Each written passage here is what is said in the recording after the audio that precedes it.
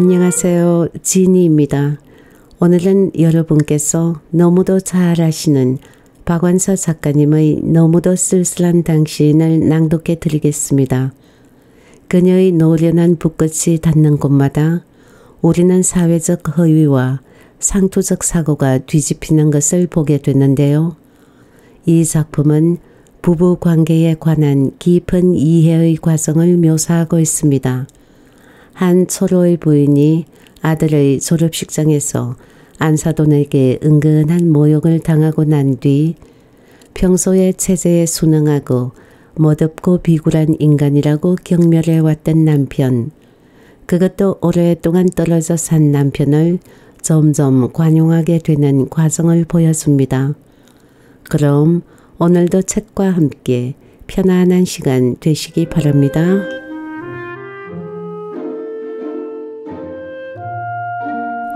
너무도 쓸쓸한 당신 지연이 박완서 그녀가 경험한 졸업식은 하나같이 좋았었다.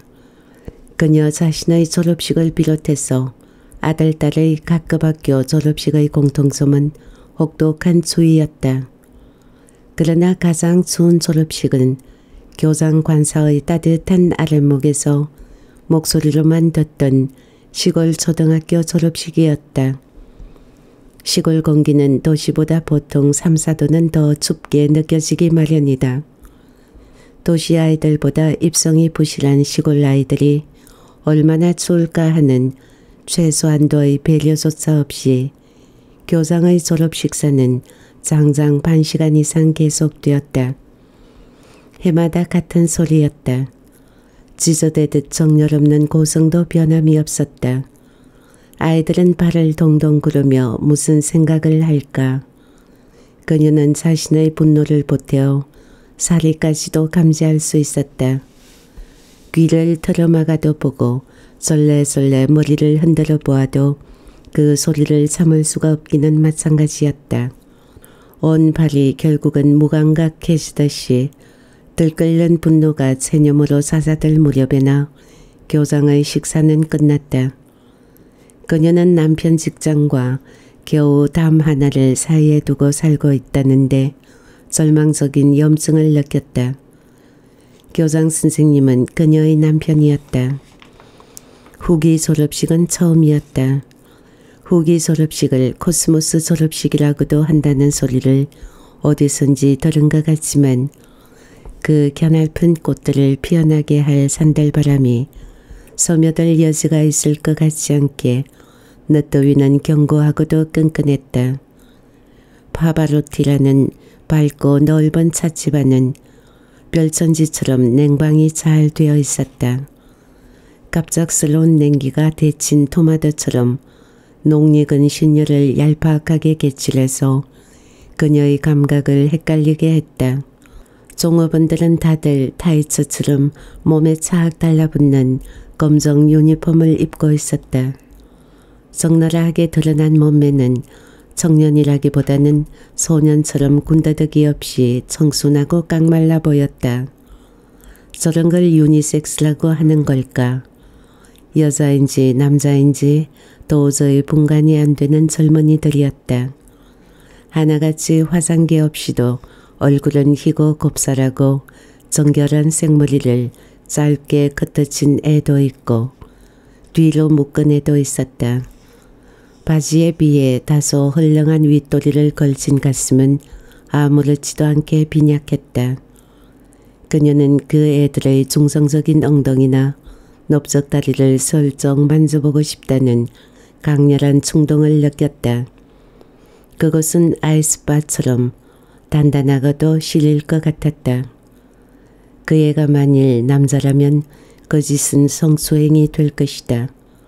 온몸 도처에서 개칠한 냉기를 뚫고 열꽃처럼 피어나는 열망에 그녀는 으스스 전율을 했다. 이런 요상한 느낌은 얼마만인가. 난생 처음인 듯도 했다. 대학가 커피숍은 나이 지긋한 이들이 갈 데가 아니란 소리는 여러 번 들어서 나름대로 알고 있었다. 그러나 이것은 은밀하거나 퇴폐적이지 않을 뿐더러 음악이 옆 사람 말귀를 못 알아듣도록 시끄럽지도 않았다. 나무랄 데 없이 건강하고 정결하고 쾌적한 분위기였다. 음악도 첼로인데 싶은 음색이 파스텔조로 은은하게 실내에 번져들도록 있는 듯 많은 듯 낮춰놓고 있었다. 튀는 점이 있다면 종업원들의 검정 유니폼 정도였다. 그럼에도 불구하고 아직 오기도 전인 남편의 존티에 자꾸 신경이 써질 만큼 그녀 보기에 이 커피숍의 세련미는 완벽했다. 남편과 만날 장소를 파바로티로 정해준 것은 딸 채정이었다. 채정이 졸업식 때도 그들 부부는 별거 중이었다.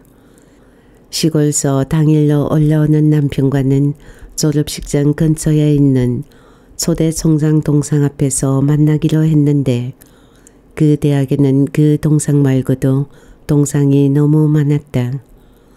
남편은 누구 동상이라는 것은 확인해 보지 않고 제일 먼저 눈에 띄는 동상 앞에 마냥 죽치고 앉아 있었으니 식구들하고 만나질 리가 없었다. 더군다나 그날은 최정희가 오랫동안 연애하던 남자친구네 부모하고 처음으로 상견례를 치르기로 한 날이기도 했다. 식이 다 끝난 후까지 찾아 헤맨 끝에 가까스로 만나긴 했지만 그날 촌스럽고 변변치 못한 남편 때문에 속상하고 초조했던 일은 나중에 생각해도 새록새록 우라가 치밀었다. 새 사돈 될 집에 비해 내세울 거라고는 없는 집안이라는 자격지심 때문에 더욱 그날의 조바심은 피를 말리는 것이었다. 그러나 하객들이 반 이상 빠져나간 후에 겨우 만나신 남편은 차라리 만나지 못하니만 못했다. 그 추운 날 오버도 없이 세탁을 잘못해 모양이 망가진 누비 파카에다 색바랜 껑충한 면바지를 입은 모습은 사돈을 의식하지 않는다고 해도 못 봐주게 추비했다. 재정이가 울상을 하고 엄마 귓전에다 난 몰라. 아빠는 우리들이 미워서 일부러 거지처럼 하고는 왔나 보아. 하고 속삭일 정도였다. 평소에도 마음에 안 드는 건 뭐든지 거지에다 빗대는 건 세정이의 아주 나쁜 버릇이었지만 그때는 듣기 싫지도 않았다. 그쪽 식구들 암만 아니라면 더 심한 말도 해주고 싶었다. 그녀가 두고두고 재성의 졸업식 날을 악몽처럼 기억하는 건 남편의 무신경한 옷차림 때문인데 재성이는 하마터면 아빠를 못 찾을 뻔했다는 게 더 기억에 남는 모양이었다. 동생 채훈이의 졸업식을 앞두고도 또 아빠 못 만나면 어떡하냐고 그 걱정부터 하더니 제가 미리 학교 앞을 답사하고 와서 제일 찾기 쉽고 노인네들도 눈치 보지 않고 들어갈 수 있을 것 같다며 정해준 것이 파바로티였다.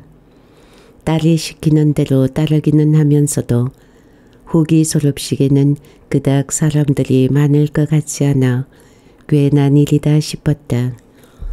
재성이는 부모가 서로 못 만날까 보다도 따로따로 오는 걸 보고 싶지 않은 게 아니었을까. 문득 그런 생각이 들었다.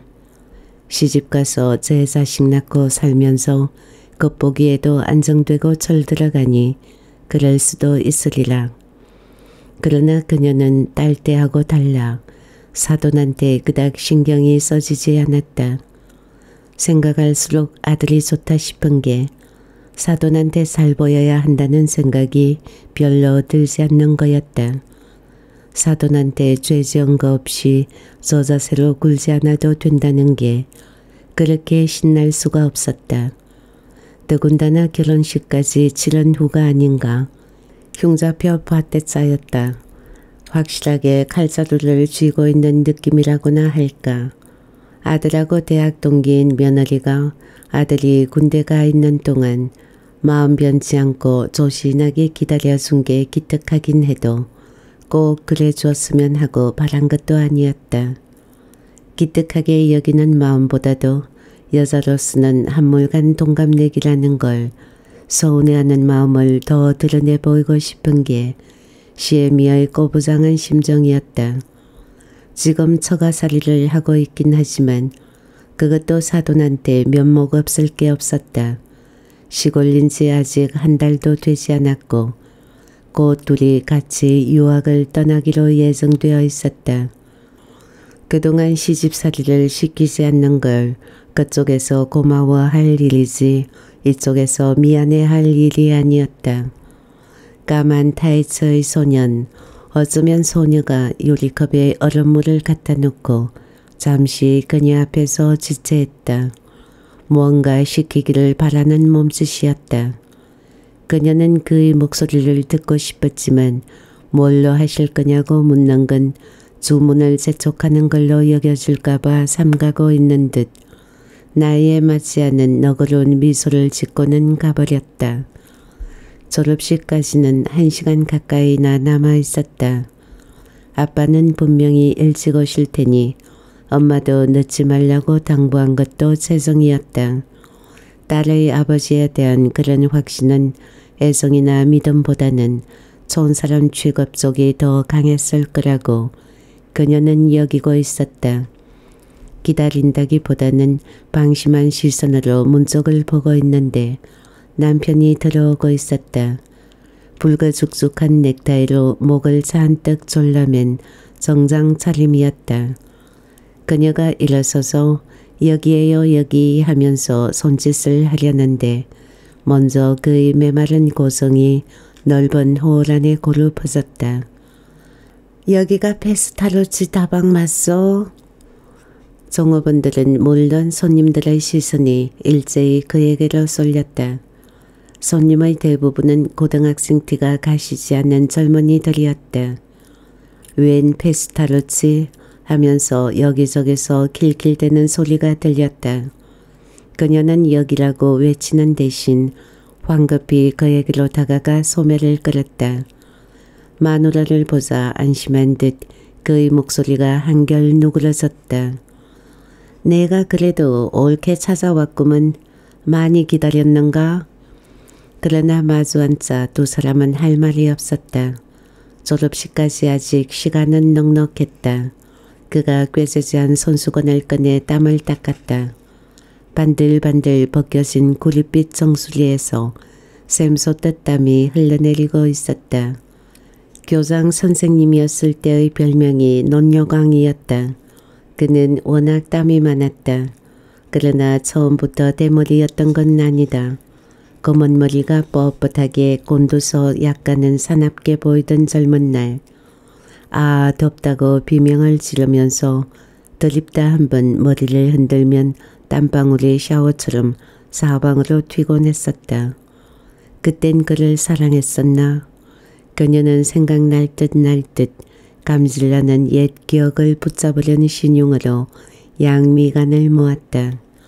한때 있었던 것의 사라짐, 그게 사랑이든 삼당 같은 머리칼이든 간에 그 뒤엔 일말의 우수라도 남아있어야 하는 게 아닐까. 그러나 그게 될 것 같지 않았다. 여기 뜨거운 커피 두 잔 다고 생각 같아서는 비싼 냉커피를 팔아주고 싶다면 이렇게 춥게 해놓았으니 어떻게 찬걸 먹냐?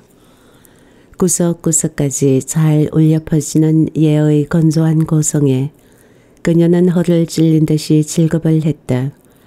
페스타로치에 옷던 젊은이들이 여기저기서 킬킬대는 소리가 들리는 것 같았다. 아, 어련히 주문받으러 올라고요.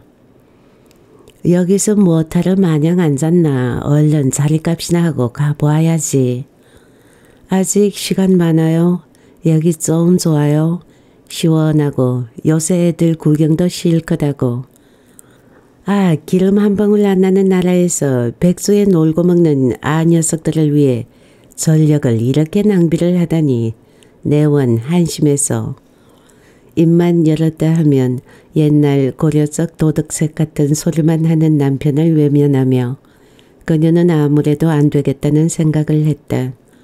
그녀 마음을 누군가가 읽고 안 되겠다는 게 뭐냐고 묻는다 해도 아마 대답을 못했을 것이다. 그녀의 마음은 그렇게 두서가 없고 애매했다. 커피가 왔다.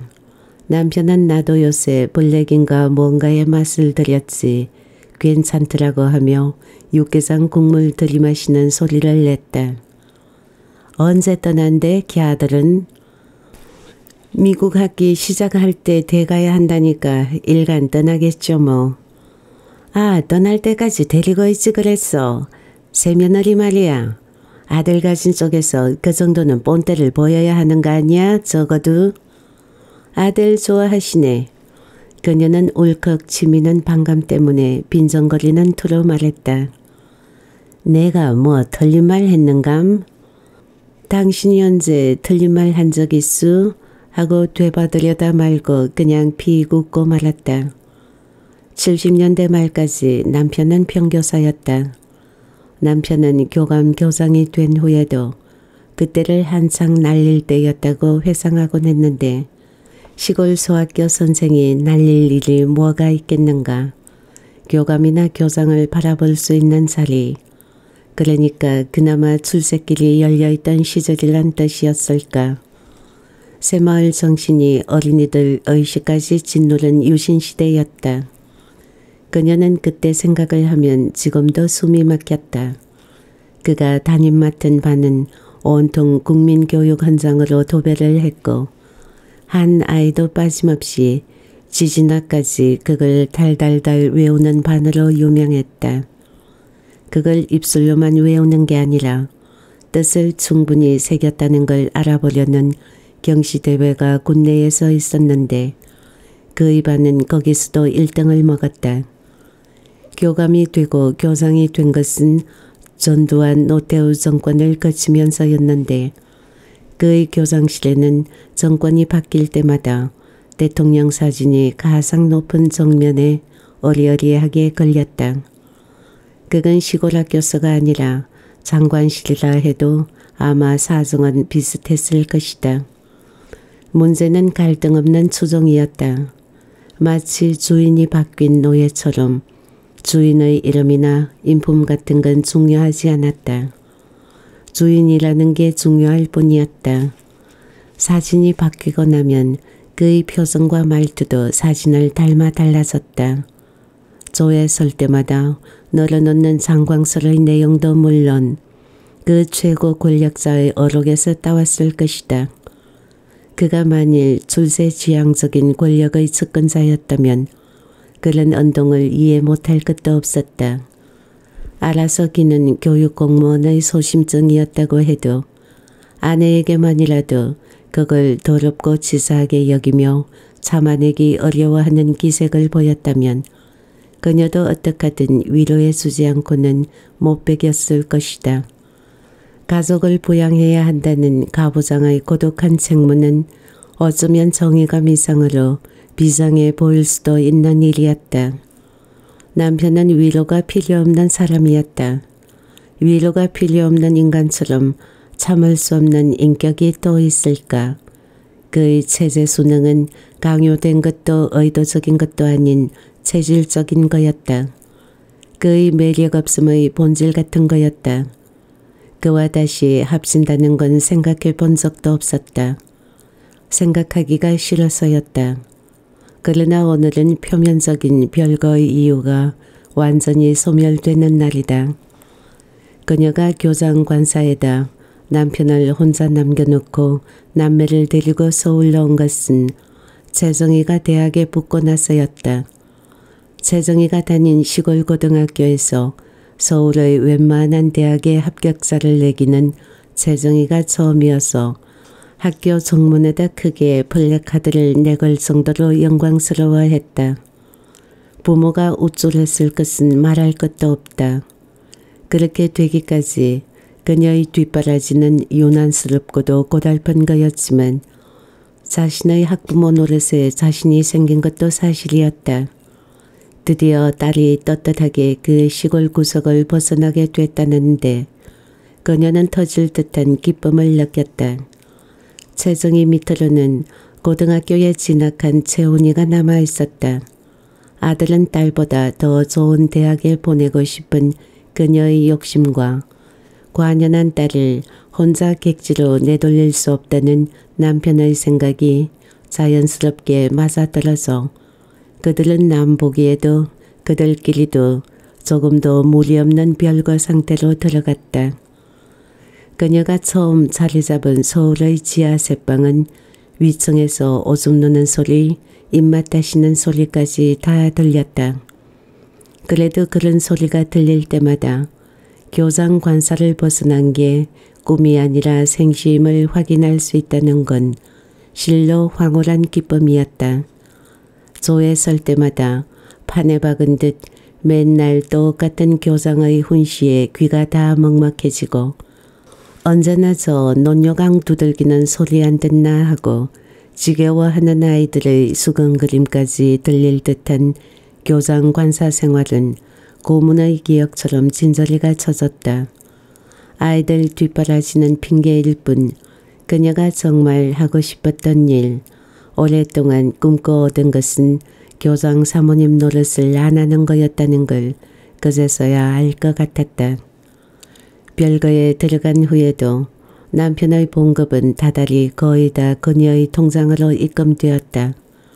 아무리 혼자라도 어떻게 그 나머지로 살까 싶게 남편이 떼어난 액수는 미미했다. 그러나 서울 생활 역시 그 봉급으로는 빠듯했으므로 그걸 당연하게 받아들였다. 그렇게 얼마 살지 않고 나서 채훈이 과외 공부를 시키기 위해 그녀도 돈벌이를 하게 되었다. 아파트를 낀 상가의 화장품 할인 매장을 하는 친구를 도와주다가 그 가게를 아주 인수하게 되었고 국산 화장품 외에도 외제 소품을 겸함으로써 수입을 늘려나갔다. 자신이 생각해도 돈 버는 수완이 있었고 운도 따랐다. 아이들 복인지도 몰랐다. 둘의 학비가 한창 많이 들 때 그녀의 수입도 피크에 다다랐다가 근처에 대형 백화점이 생기면서 조그만 상가가 사양길에 들어서자 학비 걱정도 줄어들다가 아주 안 하게 되었으니 말이다. 돈을 못 벌 때는 새 식구가 전적으로 남편 수입에 의지해야 했으므로 남편 사정을 볼 여유가 없었고 돈을 넉넉히 벌게 되자 상대적으로 남편 송금이 하도 째째해 보여 또한 남편 걱정을 안 하고 말았다.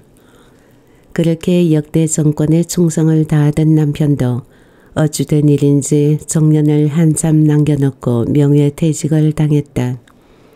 그 소식은 남편이 근무하던 고장과는 얼토당토 않게 휴전선하고 가까운 시골에다 헌집하고 거기 딸린 약간의 땅을 사놓은 게 있는데 거기 가서 살기로 정했단 소리하고 동시에 들었기 때문에 은퇴 후 같이 살게 되면 어쩌나 하는 근심 같은 건 할 필요가 없었다. 다만 마이크 대고 연설하고 싶은 걸 어떻게 참고 살까 싶어 비식 웃음이 났을 뿐이었다. 은퇴 후에도 연금은 꼬박꼬박 그녀의 통장으로 입금되어 왔다. 아이들은 가끔 그 시골집에 다니러 가는 모양이었다. 조금만 더 참으시라고 위로하고 왔다는 소리를 들으면 아이들 보기에 그럴듯해 보이는 전원 생활은 아닌 모양이었다. 그러나 아이들은 그녀에게도 조금만 더 참으란 소리를 자주 해오고 있었다. 엄마가 저희들 때문에 아빠와 떨어져 사는 걸 늘 미안해했다. 혹시 다른 이유가 있을지도 모른다. 저희들이 결혼 후까지도 부모에게 신경을 쓰거나 책임을 지게 될까봐 그걸 미연에 방지하고 싶어 할 수도 있으리라. 엄마 아빠를 붙여놓은 거야말로 상쇄시키는 최상의 방법이고 그럼으로써 저희들은 완전히 자유로워지고 싶은 속셈이 있을지라도 어쩌겠는가. 그녀는 일부러 한 번도 남편의 조는 생활을 가보지 않았다. 남편에 대한 자신의 무관심을 아이들에게 나타내 보이고 싶었다. 또 남편이 그녀에게 한마디 의논도 없이 그 정도로 착실하게 혼자 살 국리를 해온 걸 보면 별거 상태를 고정시키고 싶은 건 남편도 그녀와 다름없다고 봐야 한다는 자존심 대결 같은 것도 있었다. 불감청 이연정 고소원인데 그가 어떻게 살든 못하러 아는 척을 하겠는가. 초가집이 썩고 썩어 주저한 듯 고요한 파탄이었다. 한 지붕 밑에 사는 자식들 귀에도 안 들리는 그 양복밖에 없으시오. 오늘은 딴 양복을 입으시지 않고 그녀는 마직이라 구김이 많이 간 남편의 바시가랑이를 내려다보며 말했다. 윗도리 기세는 김치국물 자국인 듯한 얼룩도 보였다. 왜 이 양복이 어때서 최고급이라면서? 아무리 최고급이라도 그렇지요. 며느리한테 예단받은 양복 아니요. 예단받은 건 결혼식 날 하루 입었으면 됐지. 줄창 입으면 그 집에서 어떻게 생각하겠어요? 줄창 입긴 결혼식 날 입고 오늘 처음 입었어. 여름에 넥타이 매는 양복은 누가 억만금을 준대도 줄창은 못 입겠습디다. 사돈 보기에 줄창이란 소리예요. 결혼식 날 보고 오늘이 처음 보는 거 아니요? 조금 신경을 쓰시지 그랬어요. 예서 어떻게 더 신경을 쓰나. 최정인 년은 며칠 전부터 꼭 정상하라고 전화질이지. 넥타이 매는 여름 양복은 이거 한 벌밖에 없는 걸 낸들 어떡하란 말이요. 아이고 알았어요. 알았으니 그만둡시다. 더 길게 말하단 미천도 건질 것 같지 않았다. 양복보다 더 중요한 건 사돈 보기에 우리가 보통 부부 사이로 보이는 걸 거야 아마. 남편은 한결 가라앉은 소리로 그렇게 말하며 일어서더니 차값을 내려나갔다. 그녀는 남편의 짧은 눈길에서 연민 같은 걸 읽고 당황했다. 내가 저를 불쌍해하면 했지 왜 저가 나를 불쌍해한담 아니 꼽겠으리 시계를 보니 졸업식에 대각이 맞춤한 시간이었다. 후기 졸업식은 졸업생이 적어서 그런지 식장이 야외가 아니고 대강당이었다.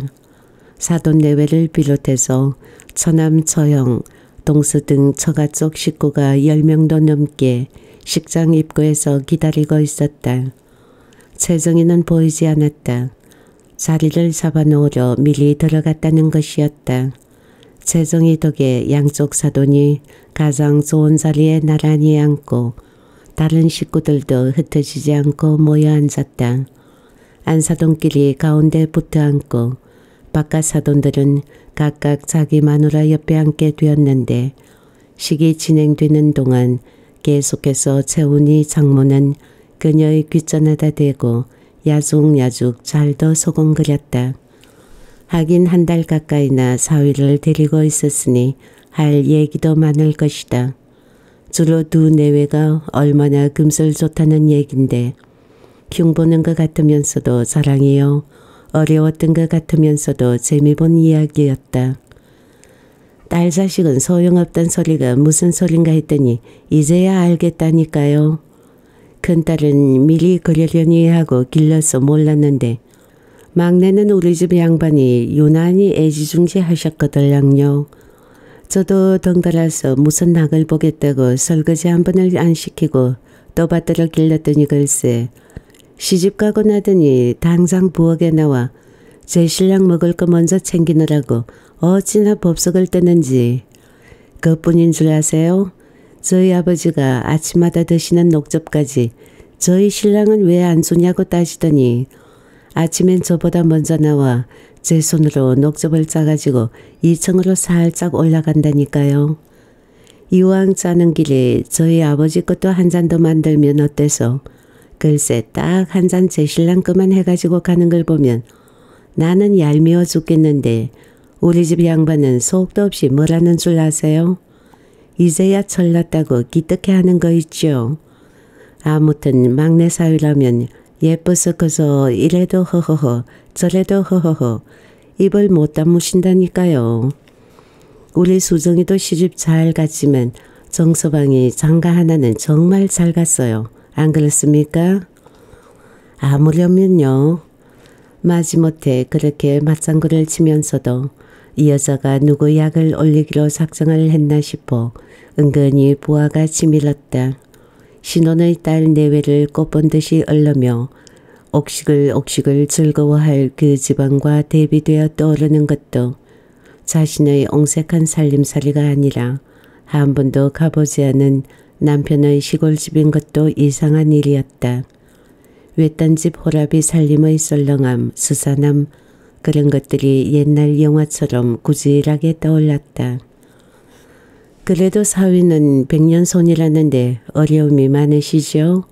저희 집으로 보내셔도 좋은데 그녀는 인사성으로 그렇게 말해놓고도 말끝을 흐렸다.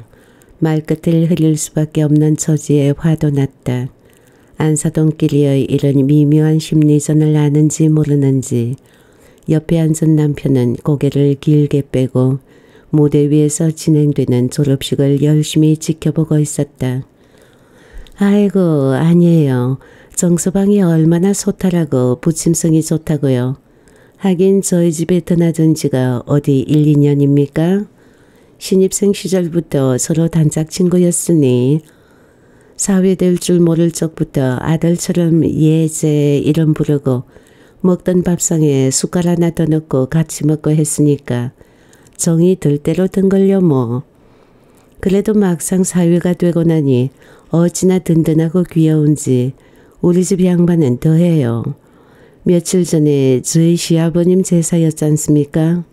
우리 큰애네는 미국에 가 있으니까 제사 참여 못한 지가 오래되었지만 작은 아들이 엄연히 있는데 글쎄 떡하니 아들 제쳐놓고 막내 사위 먼저 잔을 올리게 하지 뭡니까? 조상님한테 세 사람을 먼저 인사시켜야 한다나요? 우리 집 양반이 워낙 소탈해서 제사에도 격식이 없어요. 영정만 모시고 지방도 쓰지 않아요. 제수도 격식보다는 생전에 좋아하시던 걸 주로 하죠. 지방을 안 쓰는 대신 우리 집 양반은 마치 살아있는 어른들한테 하듯이 자상하게 요새 사는 얘기도 하고 어려운 일이 있을 때는 잘 봐달라고 조르기도 한다니까요. 이번에 새사위를 생면시키면서도 어찌나 웃기시는지 제사가 엄숙하기는커녕 한바탕 웃음판이 벌어졌다니까요. 안사도는 지금 생각해도 다시 한번 즐겁다는 듯이 호호거렸다. 세 사람이라니 아무리 세상이 두서없이 바뀌었다고 해도 수정이가 우리 집 세 사람이 되면 됐지 왜 우리 채훈이가 자기 집 세 사람이란 말인가. 격식을 안 차리기로는 이쪽이 사돈집보다 한술 더 뜨는 집안이었다. 그녀가 시댁 제사에 참여해 본 지가 언제적인지도 생각이 안 날 정도였다. 남편이 지차고 큰데기 외진 산골이라 세댁적 빼고는 남편 혼자 다녀오곤 했다. 남편도 다음날 아이들 가르치는데 지장이 있을 것 같으면 돈만 붙이고 가지 않기도 했고 그 버릇은 그런 신경 안 써도 되는 교장이 된 후까지도 계속되었다. 제사에 채원이를 데리고 가본 것도 아마 손가락으로 꼽을 정도밖에 안 될 것이다. 제사는 자기가 보고 기억하는 조상에 한해서만 지내면 된다는 것이 남편의 주장이었다. 채원이도 그런 환경에서 자랐으니 제사를 그닥 대수롭게 여기지 않았을 수도 있다. 그래도 그렇지 제 철을 제 조상 제사에 참여시키기도 전에 제가 먼저 처가 제사에서 꾸벅꾸벅 절을 했을 생각을 하니 기분이 영 고약했다. 아유 못난 녀석 덜이 적은 자식 생각할수록 치가 떨리게 분했다. 그녀는 야죽거리는 안사돈에 대한 저기를 스스로 아들에 대한 배신감으로 증폭시키고 있는지도 몰랐다. 당장 졸업식장을 박차고 나가고 싶었다. 그녀는 옆에 앉은 남편의 손을 잡았다. 손잡고 나갈 사람이 필요했다. 남편은 손을 잡힌 것도 의식하지 못하는 것처럼 단상에서 진행되는 일에 온 신경을 모으고 있었다. 마치 이제나 저제나 자기가 상 받으러 나갈 차례를 기다리는 모범생처럼 잔뜩 긴장하고 있었다. 그녀는 슬그머니 손을 거둬들이고 말았다. 남편에게 단상이란 뭐라는 걸 알고 있기 때문이었다. 남편은 단상을 좋아했다. 단상에만 올라가면 저절로 목소리에 권위적인 억양이 붙고 아무도 흠잡을 수 없는 지당한 소리만 줄줄이 나왔다. 아무리 조그만 집단에서도 단상은 권위의 상징이었다. 그는 단상에 있을 때 다나에 있는 단 한 사람이라도 자기를 주목하지 않는 것을 참지 못했다. 주목만이 아니었다. 그가 단상에서 다나에 요구한 것은 경배였을 것이다. 단상에 있을 때 단상의 권위에 충실했던 것처럼 다나에서는 다나의 의무에 충실코자 하는 걸 누가 말리랴. 그런 그가 집안 식구에 대해서는 전혀 권위주의적이지 않았던 것은 자상하거나 가족적이라기보다는 월급 봉투만 축내지 않으면 가정의 권위는 저절로 따라오는 것으로 믿었기 때문이 아닐까. 별거 할 수밖에 없는 상황을 의심 없이 받아들인 후에도 그렇고 은퇴 후까지도 월급이나 연금을 믿을 수 없을 만큼 조금 축내고 전액 식구들한테로 가게 하려는 그의 노력은 거의 집념에 가까웠다. 요새는 도대체 어떤 환경에서 뭐에 먹고 사는 것일까? 그녀는 조금 전에 잡았던 남편의 손을 바라보았다. 손톱 밑에 때가 낀 투박한 손이었다. 그녀는 직접 잡아보았을 적에도 못 느낀 이물감에 허방을 밟은 것처럼 움찔했다. 박사, 석사 학위 수여식이 끝나고 학사 학위를 수여할 차례였다. 그녀는 아들이 학위 받는 걸 똑똑히 봐두고 싶었다. 사진은 채정이가 찍기로 되어 있었다. 채정이뿐 아니라 그쪽 식구들 중에서도 서너 명이나 카메라를 들고 나가는 것 같았다. 졸업생보다도 더 많은 사진사들이 무대를 가려서서 아무것도 보이지 않았다. 안사돈이 다시 조근조근 이야기를 시작했다. 장래의 웅성그림 때문인지 귓볼에 숨결이 닿을 듯 안사돈의 속삭임은 친근했다. 보려고 애쓰지 마세요. 사진이나 잘 나오면 됐죠 뭐. 무슨 행사든지 사진밖에 남는 게 뭐 있나요? 참 아이들 결혼 사진 잘 나왔죠? 사진사가 찍은 것 말고도 카메라 사진까지 다 챙겨서 보내드렸는데 예, 잘 받았습니다. 카메라 사진은 저희들한테도 꽤 있는데 웬걸 그렇게 많이 꼼꼼하게 정리를 해서 보내셨어요? 저희는 아이들 자라는 모습뿐 아니라 걔들한테 무슨 행사가 있을 때마다 사진으로 남겨놓는 게 큰 낙이랍니다. 취미도 되고요. 상이나 임명장 받은 사진도 하나도 빠뜨리지 않았는데 혼인이야 일륜제 대상걸요. 이렇게 꼭 기록을 남기다 보니 기록 때문에라도 할 건 다 하고 살아야지 대충 넘어가면 안 되겠더라고요. 사진첩을 정리하다 보니 신혼여행 못 보는 게 그렇게 서운하더라고요. 못 보내다니요. 저희가 안 가겠다고 해서 우겨서 그렇게 된 거 아니던가요? 그녀는 계속해서 당하고 있을 수만은 없어 정색을 하고 따졌다. 결혼식을 마침 바캉스 시즌에 치렀을 뿐 아니라 유학 갈라를 한 달 남짓 남겨놓은 시점이라 채훈이는 채훈이대로 수정이는 수정이대로 각각 일이 많았다. 비자도 새로 내야 하고 짐도 배로 미리 붙여야 하고 운전 면허도 갱신해야 하고 이런저런 해결 안 된 일 때문에 마음들이 한가지지 않아 신혼여행은 미국 가는 길에 하와이에 들러 며칠 쉬다 가는 걸로 대신하겠다고 저희끼리 합의하고 양쪽 부모는 통고만 받았는데 지금 와서 웬 트집인가 싶었다. 그러면요, 그러면요. 그래도 부모 마음은 그게 아니더라고요. 더군다나 양가가 다 언제 또 해볼 것도 아닌 마지막 자식 경사가 아닙니까? 남하는 대로 다 해주고 싶더라고요. 그래서 말인데요. 졸업식 끝나는 대로 제주도로 3박 4일 정도 여행을 다녀오도록 예약을 해놓았습니다. 아직 걔네들은 모르고 있어요. 놀래켜 주려고요. 까다로운 절차도 다 끝나고 모처럼 여유가 생겼으니 좋아할 거예요.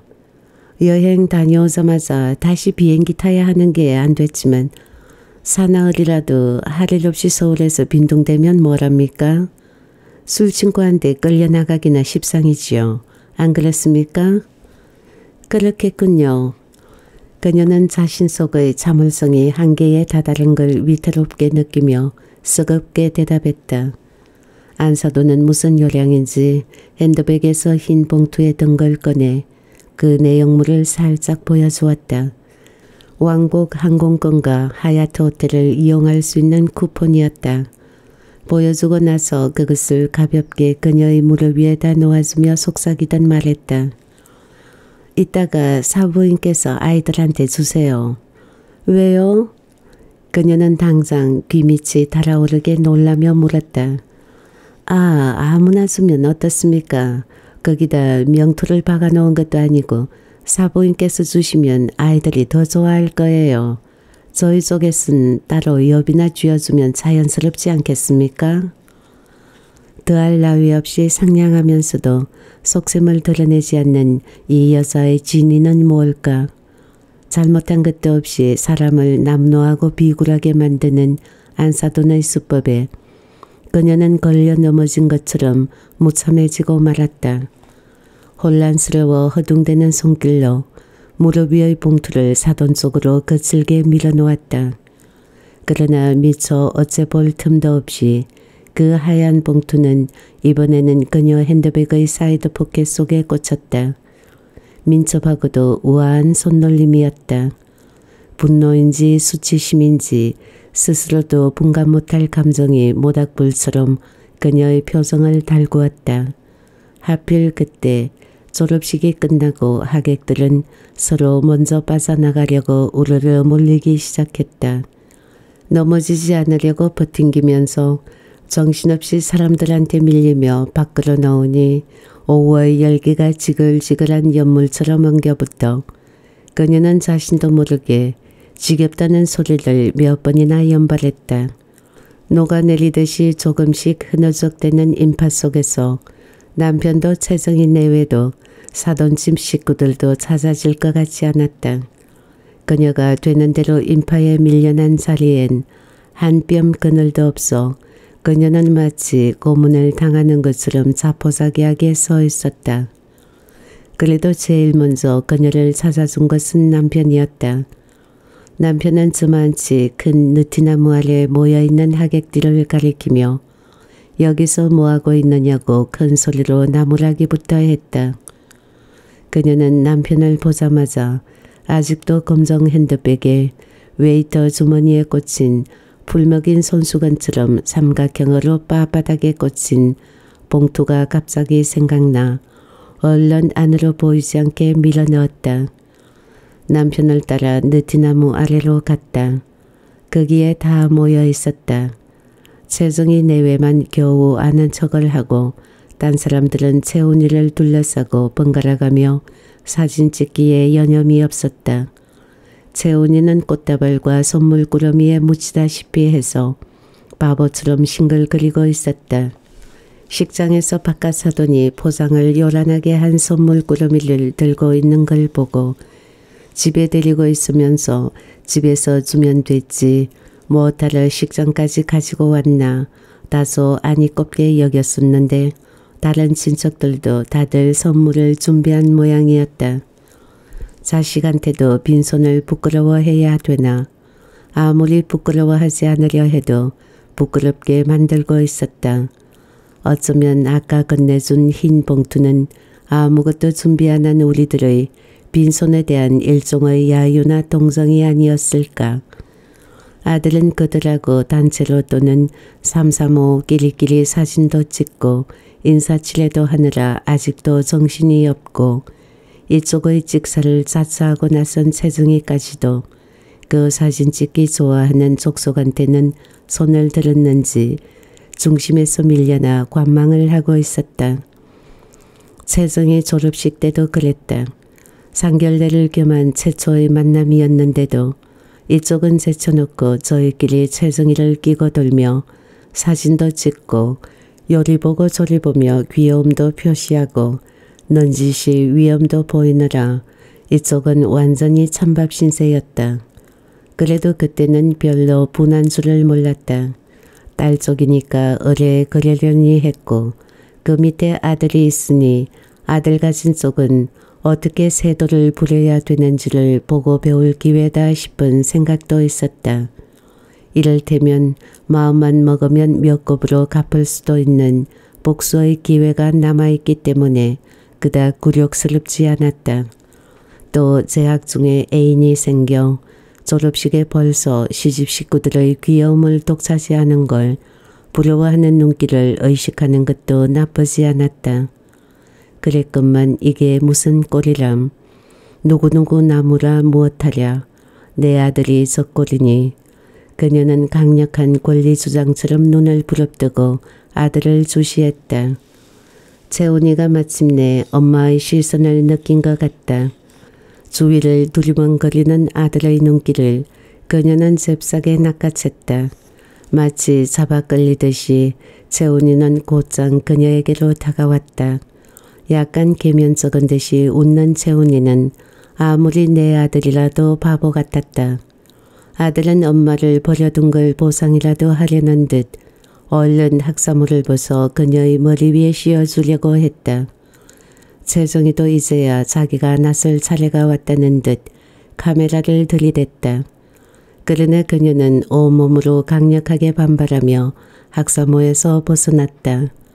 엄마를 뭘로 보니 그러나 그런 말이 미처 나오기 전에 남편의 목소리가 들렸다. 왜 그래 임자 좋으면 좋다고 그럴 것이지 괜시리 암상은 부리고 그래.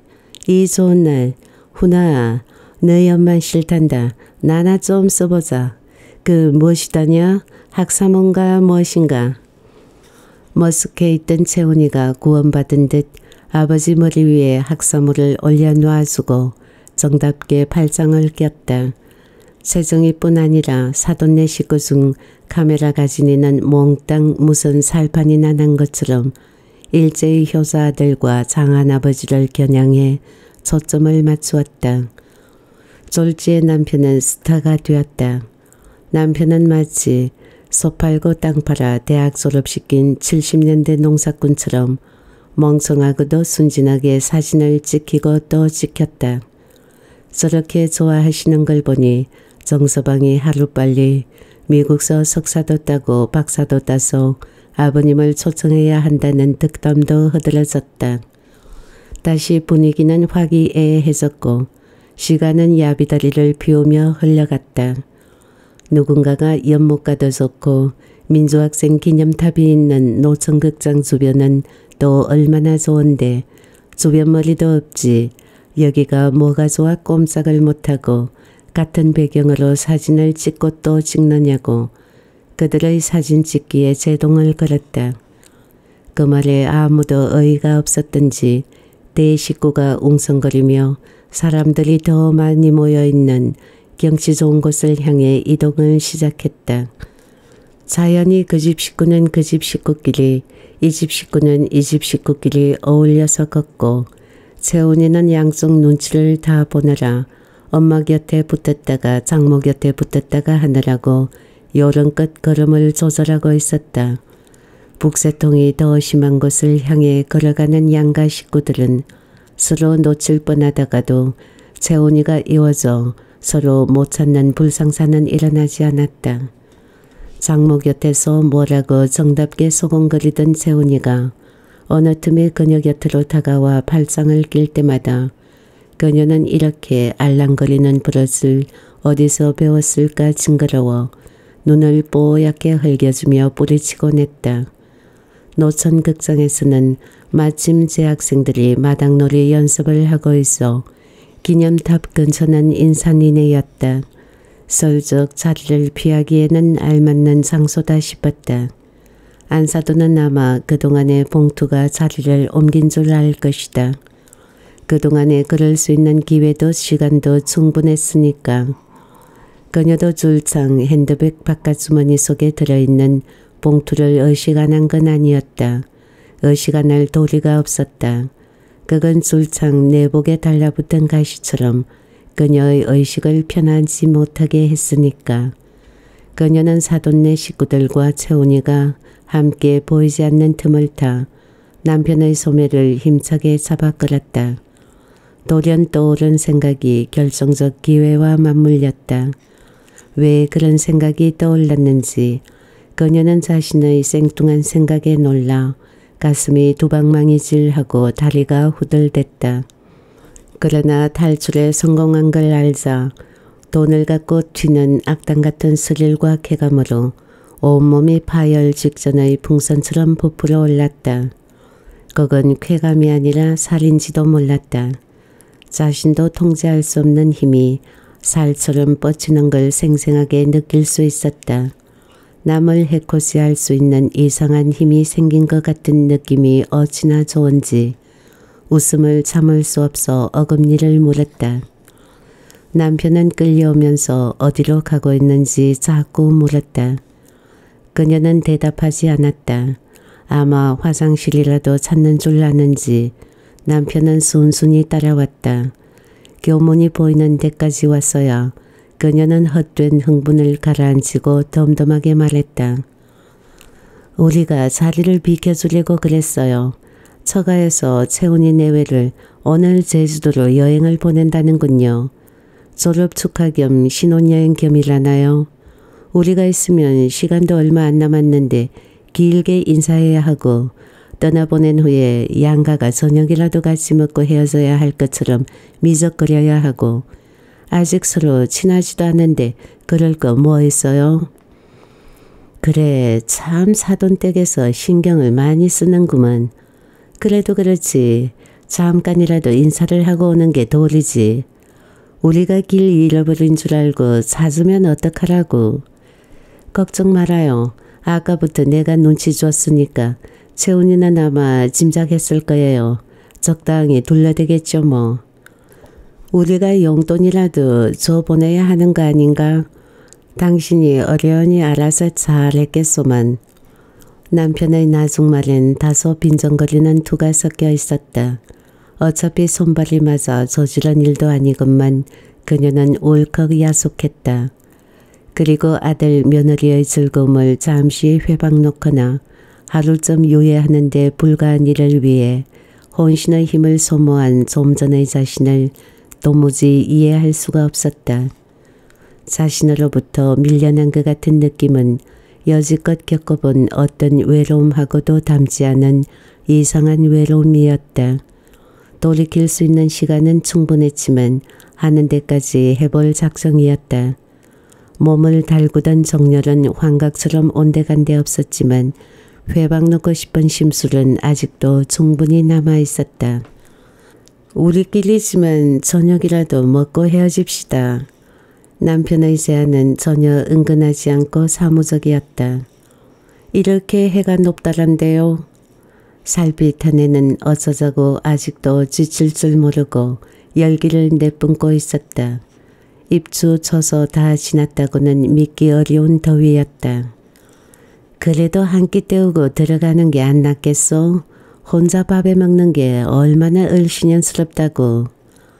어쩌자고 이 남자는 이렇게 정직한 걸까. 그녀는 남편의 촌스러움, 초라함, 변변치 못함이 다 겉에다 주렁주렁 달고 있는 혼자서 밥해 먹은 티만 같이 여겨서 바로 보기가 싫었다.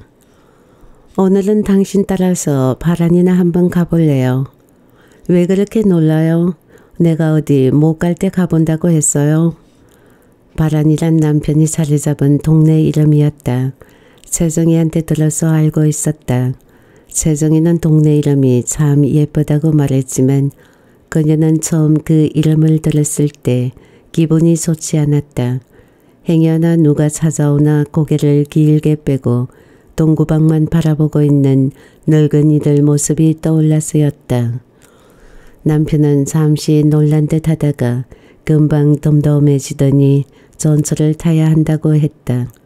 그녀는 말없이 남편 뒤를 따랐다. 상실감을 메우려고 너무 허둥거리고 있는 자신이 딱했지만 어차피 오늘은 빗나가기 시작한 거 가는 데까지 가볼 작정이었다.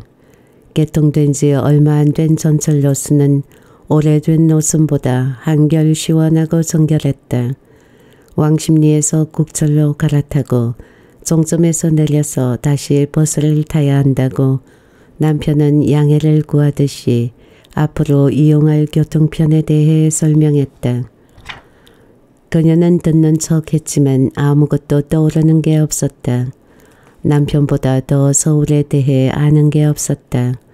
어렵게 확보해 놓은 단골을 잃게 될까봐 처음 자리 잡은 가게를 한 번도 옮긴 적이 없었다.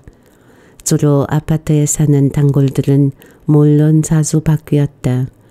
이런 만큼 얻어지는 게 단골이었으니 단골이 꾸준히 있다는 게 중요하지 단골이 누구냐가 중요한 건 아니었다. 그녀가 세상사를 바삭하게 꿰뚫고 있는 것처럼 느끼는 것도 단골들 덕이었다. 그녀는 좁은 가게 안을 요령껏 편안하게 꾸미고 단골들이 필요한 것 없이도 들러서 수다를 떨고 싶은 곳으로 만들었다. 근처에 대형 백화점이 들어서고 나서 그녀의 가게 앞은 백화점 버섯 정류장으로 변했다. 처음에는 가게에 들어와서 구경하는 척 하다가 백화점 버스가 오면 냉큼 나가 타던 단골들이 이제는 탈 때도 내릴 때도 그녀의 가게를 못 본 척 하게 되었다. 마치 거기 가게가 없는 것처럼 국철로 갈아타기 위해 계단을 여러 번 올라가야 했다. 마지막으로 지상으로 통하는 계단은 좁고 숨어있듯이 외진되어 있었다. 지상은 아직도 해가 지기 전이었다.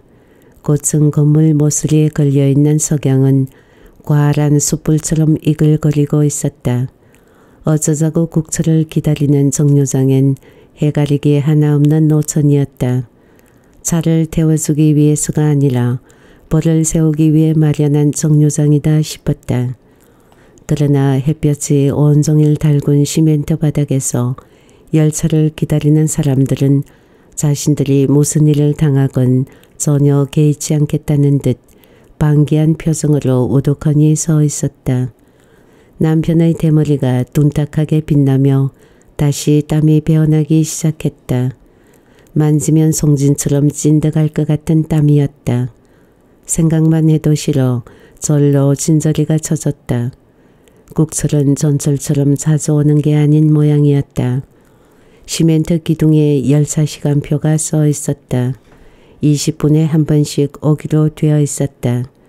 그녀는 이건 더위를 견디는 게 아니라 굴욕을 견디는 거라고 생각했다. 참고 기다린 보람은 있어서 국철 안도 지하철 안과 다름없이 서늘했다. 그러나 국철 구간의 풍경은 서울에 이런 곳이 있다는 게 믿어지지 않을 만큼 낯설었다. 시골 같지도 않고 도시 같지도 않은 단지 버려진 것 같은 들판으로는 걸쭉하게 썩은 새깡이 흐르기도 하고 어디로 가는지 모를 굽은 다리를 받쳐주기 위한 육중한 시멘트 기둥들이 질척한 늪지대에 괴기스럽게 뿌리 내리고 있기도 했다. 녹선 새붙이 썩은 널판지가 함부로 버려진 쓰레기 더미 사이를 비집고 기승스럽게 자라는 풀들은 독초처럼 잔뜩 약이 올라 저만치 폐가처럼 썰렁한 집들을 위협하는가 하면 갑자기 네모난 단층집 동네가 철로에 닿을 듯이 가까이 다가오기도 했다. 빨래가 널린 옥상과 백일홍, 맨드라미가 빨갛게 피는 마당이 사람 사는 동네다우나 소운케도 열차를 향해 주먹질을 하는 동네 아이들은 보이지 않았다. 그녀는 무슨 깨달음처럼 국철 구간하고 남편이 어쩌면 그렇게 닮았을까 하는 생각을 했다. 그런 생각이 들자 거기 타고 있는 사람들이 지하철 승객하고는 인종이 다른 것처럼 이상해 보였다. 남편은 자는지 자는 척 하는지 편안히 눈을 감고 있었다. 지금 내가 도대체 무슨 짓을 하려는 걸까? 그녀에게 아들을 빼앗긴 상실감은 마치 허방을 밟은 것처럼 갑작스러운 것이었다. 순탄한 길을 걷다가도 휘청거릴 나이에 이런 허방이 숨어 있을 줄이야. 허방치고는 너무도 깊은 허방이었다. 그녀는 한없이 추락 중인 삶의 허방에서 움켜진 한 가닥의 지푸라기를 바라보듯 어이없어하며 자는 남편을 바라보았다. 사람들이 곧 많이 내리는 역에서 그녀는 뭔가 참을 수 없는 기분으로 남편을 흔들었다. 얼떨결에 밖으로 따라 나온 남편은 한 정거장 더 가야 종점이라며 다시 타려고 했다. 그러나 그녀는 남편을 승층다리 쪽으로 거세게 잡아 끌며 말했다. 갈 데가 있어서 그래요. 어딜? 벼랑간? 그 애들은 오늘 신혼여행 가서 마냥 재미 볼 거 아니오. 우리도 기분 좀 내봅시다. 바라니아 가보았댔자 모기 밖에 누가 우릴 반겨주겠어요. 세정이가 바라니 갈 때마다 모기약을 사나르던 생각을 하며 말했다. 바라니로 가san 것은 당신이었어. 남편이 침착하게 타일르듯이 말했다. 그리고는 휘잉하니 앞장을 서더니 돼지갈비집으로 들어갔다. 에어컨 대신 천장에서 옛날 비행기 프로펠러처럼 생긴 선풍기가 돌아가는 집이었다. 식탁마다 지글대는 불갈비 위로 후드가 바싹 내려와 있건만도 넓은 홀이 연기로 매캐했다. 마침 저녁 시간이기 때문인지 혹시 자라기로 소문난 집인지 거의 빈자리 없이 시끌시끌하고 활기차 보였다. 남편이 어릿어릿하지 않고 익숙하게 구는 것도 보기에 나쁘지 않았다. 그러나 재미 좀 보자는 걸 겨우 돼지갈비 정도로 이해한 남편을 속으로는 한심해 하면서도 수고시 따른 것은 벼랑간 의식하게 된 심한 허기증 때문이었다. 근수로 주문한 돼지갈비와 숯불이 이글대는 풍로와 밑반찬만 갖다 줄 뿐 나머지 일은 다 셀프 서비스였다. 남편은 알맞게 익은 갈비를 먹기 좋게 잘라 접시에 옮겨주는 일에서부터 석쇠를 새 걸로 가는 일까지 하나도 그녀에게 시키지 않고 적적 혼자서 잘했다. 가끔 영양 보충하러 오는 싸고 잘하는 집이란 설명도 했다. 옷에서부터 머리카락까지 돼지갈비 냄새에 푹 설 만큼 포식하고 나오며 남편은 이렇게 먹어도 계산은 얼마 나오지 않는다고 또 한 번 싼 타령을 했다. 그런 남편을 돌아보지도 않고 앞서 나온 그녀는 마침 갈비집 앞에서 손님을 내려놓은 택시를 잡고는 남편을 손짓해 불러 먼저 밀어넣었다. 얼떨결에 올라탄 남편 곁에 앉자 어디 경치 좋은 러브 호텔로 가자고 외눈 하나 까딱 안 하고 말했다. 러브에다 유난히 힘을 주어 말하고 나서 당신 그런데 처음이지요? 했다. 당신은 처음이 아닌 것처럼 구는구려. 그래요. 저도 처음이에요. 그녀는 오금을 박듯이 힘주어 말했다. 그런데 한 번도 못 가봤다는 걸 서로 믿을 뿐만 아니라 설사 어느 한쪽이 거기 들어가는 걸 목격했다고 해도 바람 피우러 들어간다는 의심도 안 할 위인들이었다. 그래, 우리는 그런 사람들이다. 그래서 좋은 부부란 말인가. 왜 이 지경까지 되고만 것일까. 스산한 낭패감으로 잔뜩 추스렸던 그녀의 어깨에서 힘이 빠졌다. 다행히 택시를 한강이 바라보이는 별장풍의 삼성집 앞에 대준 운전기사의 태도만은 노골적으로 그들을 늙은 잡것들 대하듯 했다. 마냥 끌고 다닌 끝이었다. 그래도 앞장서서 택시값도 치르고 프런트로 간 것은 남편이었다. 잠시 쉬었다 가시게요? 아니요, 하룻밤 묵어 갔으면 하오. 하는 소리에 고개를 붉히며 그녀는 돌아서서 복도 끝 창밖으로 그제서야 해가 지고 마을간 맨얼굴을 드러낸 하늘을 바라보았다. 당신은 돈도 많구려. 길을 받아든 남편을 쫄래쫄래 따라가다가 2층으로 오르는 계단이 꺾이는 곳에서 멈춰선 그녀는 약간 시비조로 말했다. 세상에 없는 구두쇠로만 알아온 남편이 저녁값은 물론 호텔비까지 선선히 지불한 걸 두고 하는 말이었다. 여유 있는 돈이 있을 턱이 없는 남편이었으므로 구두쇠 노릇을 민망하게 여길지언정 미워한 적은 없었다. 서로 의심할 건덕지가 아무것도 남지 않은 무관심한 부부 사이건만 돈 문제에 대한 의혹은 아직도 민감하다는데 그녀는 스스로도 놀라고 한편 부끄러웠다. 채훈이 졸업식 아닌감. 사돈 댁 가고 식사라도 같이 하게 되면 내가 내려고 벌써 얼마 전부터 열촉해온 돈이라오. 남편의 쓸쓸한 듯 담담한 대답에 그녀는 할 말을 잃었다. 실내는 어둑시건하고 쾌적할 뿐 상상한 것처럼 야하지는 않았다. 한강과 대안의 언덕에 산재한 별장인지 호텔인지 모를 아름다운 집들이 한눈에 들어왔다. 잔디가 곱게 다듬어진 이 집 정원도 그 끄트머리에 서면 강물에 발을 담글 수 있을 것처럼 한강하고 가까웠다. 그녀는 오래도록 창가에 서서 남편의 샤워하는 소리를 들으며 바깥을 내다보았다. 아이고 시원하다. 욕실에서 나오는 남편을 돌아보다가 그녀는 애구머니 소리를 지를 뻔하게 놀라며 얼굴을 돌렸다. 팬티만 입은 남편의 하체가 보기 흉했다. 넓적 다리에 약간 남은 살은 물주머니처럼 쭉 쳐져 있고 툭 붉어진 무릎 아래 털이 듬성듬성한 정강이는 몽둥이처럼 깡말라 보였다. 순간적으로 닭살이 돋을 것처럼 혐오스러웠다. 징그러운 것하고는 달랐다. 징그럽다는 느낌에는 그래도 약간의 용기가 있기 마련인데 이건 군더더기 없는 혐오 그 자체였다. 살을 대고 산 적이 있는 부부 사이에 그럴 수 없는 일이었다. 같이 살 때도 살가운 부부는 아니었다. 남편은 그때도 여름이면 집에 들어와 팬티만 입고 돌아다니길 잘했다. 이 다음에 며느리 얻어도 당신 때문에 같이 살긴 틀렸다고 남편의 그런 버릇을 걱정한 적은 있어도 보기 싫다는 느낌은 없었다. 그렇다고 매력 있어 한 것도 아니고 그냥 집에 있는 구닥다리 장롱이나 책상 밥상 보듯 있을 게 있을 자리에 있을 때 아무런 느낌도 없는 것과 마찬가지로 그냥 무심했다.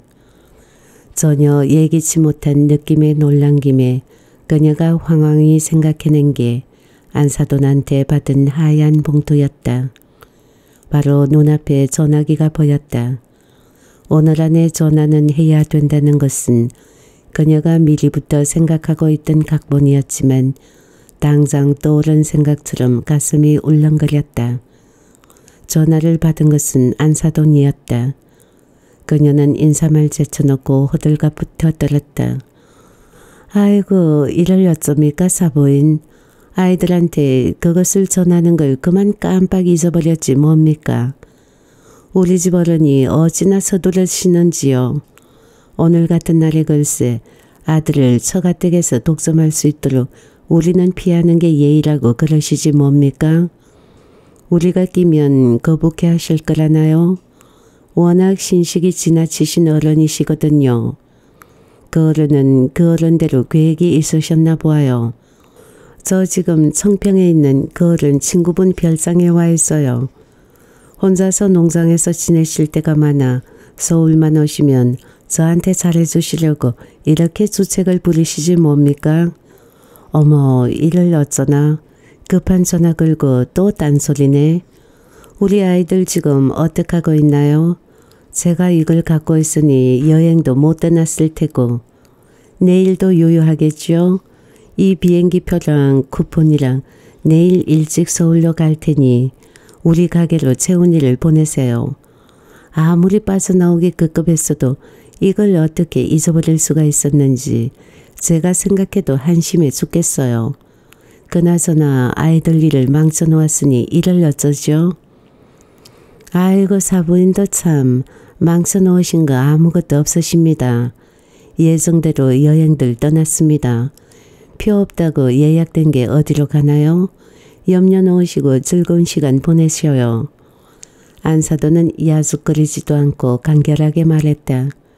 간단했지만 무시하는 투는 충분하게 여운이 되어 남아 있었다. 흉보면 담는다고 오래도록 야속거린 것은 오히려 이쪽이었다. 이럴 수가. 그들이 꾸민 사글사글한 행복을 조금 회방 놓거나 약간의 차질이라도 빚게 하려는 그동안의 노력이 이렇게 허사가 될 줄이야.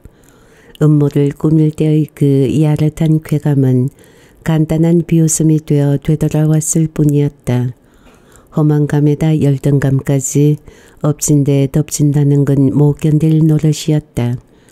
남편의 근심스러운 목소리가 들렸다. 당신 사돈 댁한테 무슨 실수한 거 아니요? 변변치 못하겠으리. 내가 뭘 변변치 못하게 굴었다고 그래요. 알지도 못하면서. 그녀는 울고 싶은 심정으로 톡 쏘았다. 당신 똑똑하지 무지무지하게 그런 줄만 알았는데 세훈이 장모한테 비하니까 변변치 못해 보입디다. 그녀는 무슨 말이든지 대꾸를 하려면 울음이 섞일 것 같아 잠자코 있었다. 다시 사뭇 의논성스러운 남편의 목소리가 들렸다. 세훈이 전공한 학과가 유학이라도 하고 와야지. 그렇지 않으면 밥벌이 하기도 어렵다고 해서 내 말리지는 못했소만은 학비를 보탤 일이 큰 걱정이구려. 나는 돈 안 쓰는 재수밖에 없고 당신 고생이 언제 끝날지 앞이 안 보이는 게 미안할 뿐이요. 미안할 거 없어요. 걔들은 우리가 왜 보태줘요? 그만큼 해줬으면 됐지. 우리가 걔들한테 뭘 해줬다는 거요? 아 며느리 시집 올 때 혼수고 예단이고 다 접으라고 했잖아요. 요새 혼수랑 예단이랑 제대로 하려면 얼마나 드는지 알긴 아시오? 왜 그만두라고 했는지 그 집에서도 당장 알아듣고 그만큼 달러로 바꿔 보내겠다고 합디다. 목돈 가지고 간 거 다 쓰고 나면 며느리라도 돈벌이 하겠죠 뭐. 제가 꼬셔서 가는 유학인데 그만한 각오도 없이 가겠어요?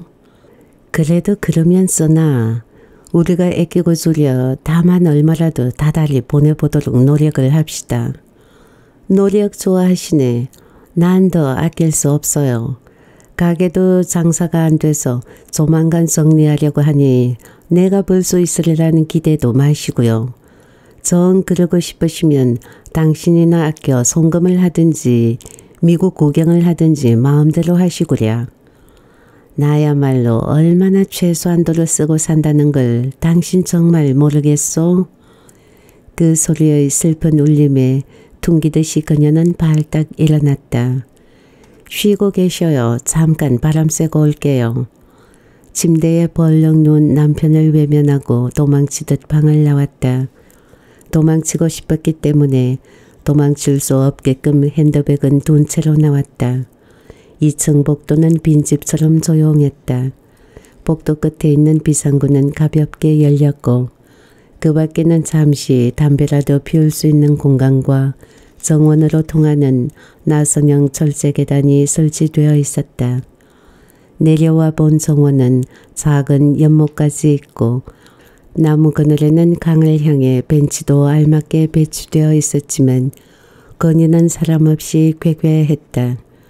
올려다본 삼성집의 방방은 불이 켜진 데도 있고 깜깜한 데도 있었다. 켜진 방의 불빛도 밝지 않고 은은했다. 오늘 하루 쓰잘데없이 애만 썼다는 사소한 허전함이 일생을 헛산 것 같은 거대한 허전함이 되어 그녀를 한없이 미소하고 초라하게 만들었다. 이럴 줄 알고 무언가로 메우려고 너무 허둥댔음일까. 건부석이라도 움켜잡듯이 마지막으로 움켜잡은 확실한 게 표보니 고작 남편의 정강이었다.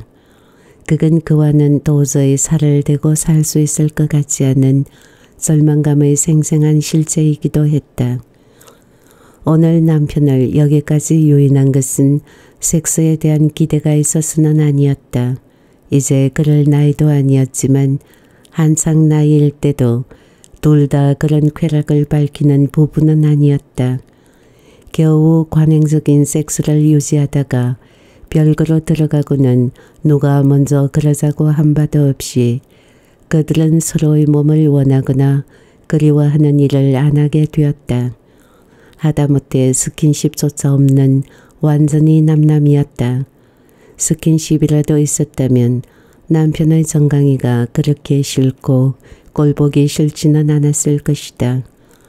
몸을 비비는 행동이 끊긴 것과 그의 몸이 그렇게 보기 싫었던 것과 무관하지 않다면 몸을 비비는 행동이란 그닥 얕볼 일도 아니다 싶었다. 그녀가 오늘 느낀 것은 결코 구체적 욕망이 아니었다. 흔히 등을 긁어준다는 식의 스킨십 정도였다고 해도 그것으로 이 거대한 허전함을 메우고 싶어 했다면 그건 욕망보다 크고 아름다운 꿈이 아니었을까. 그것이 가망 없다는 걸 깨닫고 나서야 비로소 그동안 완전히 단절되었던 몸의 만남을 후회하는 마음으로 되돌아보기 시작했다. 그것이 이렇게도 돌이킬 수 없는 실수라고는 미처 몰랐다. 그녀는 남편이 잠들기에 충분한 시간을 흐르는 강물을 망연히 바라보는 것으로 보내다가 방으로 되돌아왔다. 방 안은 강바람 부는 강변보다 더 시원하고 남편은 침대 덮개도 안 걷어내고 그 위에서 헐렁하게 낡아 빠진 팬티만 입은 채 코를 골고 자고 있었다. 보기 싫은 것은 둘째치고 감기가 들 것 같아 덮어주려고 꽃무늬 덮개 사락을 들수다 말고 어쩔 수 없이 벗은 하체를 가까이 보게 되었다. 목이 물린 자국이 실불긋게 한창 약이 오른 것도 있고 무르스름 가라앉은 것도 있고 무수했다. 이 말라 빠진 정강이에서 피를 빨다니 아무리 미물이라도 어떻게 그렇게 잔혹할 수가 있을까? 도대체 어떡하고 살기에 제 몸을 저렇게 만들었을까? 때가 낀 손톱과 함께 그의 지나치게 초라하고 고달픈 살림살이가 눈에 서원했다. 그렇게까지 안 살아도 될 만한 영검을 받고 있는 남편이었다. 스스로 원해서 가부장의 고단한 의무에 마냥 얽매여 있으려는 남편에 대한 연민이 목구멍으로 뜨겁게 집어쳤다.